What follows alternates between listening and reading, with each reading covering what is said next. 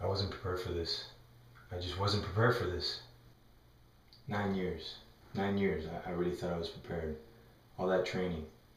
No bug out bag could save me from this. No AR, no Glock. Nothing. Nothing could prepare me for this.